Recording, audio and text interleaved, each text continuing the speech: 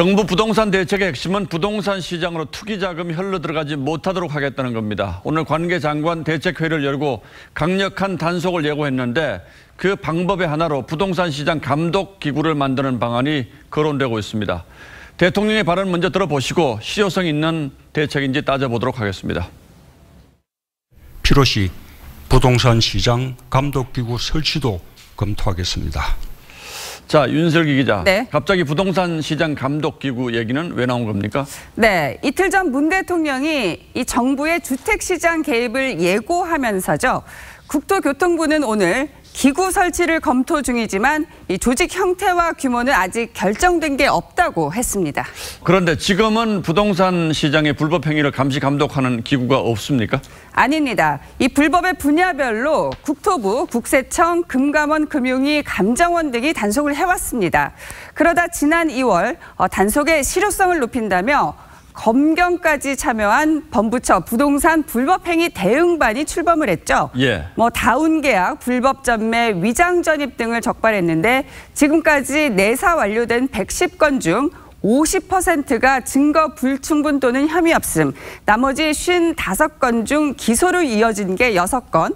이 6건 중 처벌은 약식 기소 2건과 기소유예 1건 등총 3건인 것으로 국토부 국회 제출 자료에서 드러났습니다. 지금 있는 기구의 실적이 이 정도인데 또 무슨 새로운 기구를 만듭니까? 지금 기구를 잘 활용하는 게 낫지 않겠습니까? 그런데 이 새 기구의 필요성에 대해 국토부는 기존 조직은 있지만 이 부동산 범죄의 다양화 또 지능화 경향을 감안할 때 보완이 필요하다고 했습니다. 청와대 얘기도 들어보실까요? 자본시장법에 따른 어떤 주식시장에 대한 관리 이러한 것처럼 선량한 국민들께서 안심하고 거래를 하지만 주로 개인들 간의 거래인 부동산은 금융과는 다르다는 반론도 거셉니다. 금융이라는 것 자체가 일종의 이제 인가 사업이죠. 집을 사고 파는 것이 무슨 범법인가요? 이런 식으로 한다면 모든 걸 감독을 하겠네요. 자, 어쨌든 뭐 반론이 있을 수 있습니다만 전문 투기꾼들을 막을 수만 있다면 부동산 시장 안정에는 뭐 도움이 되겠죠?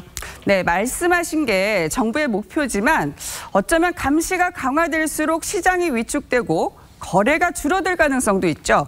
자, 그러면 어떤 일이 생길 수도 있는지 들어보실까요?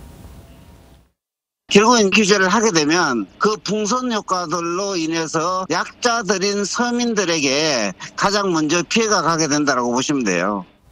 예, 앞서 전문가의 걱정도 있었습니다만 규제 만능주의에서 어, 시작된 발상은 아니기를 바라겠습니다. 그렇습니다. 예, 윤슬기 기자 잘 들었습니다.